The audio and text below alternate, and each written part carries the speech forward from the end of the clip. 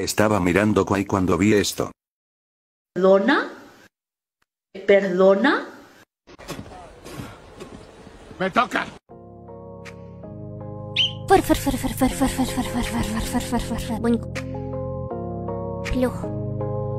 Mam.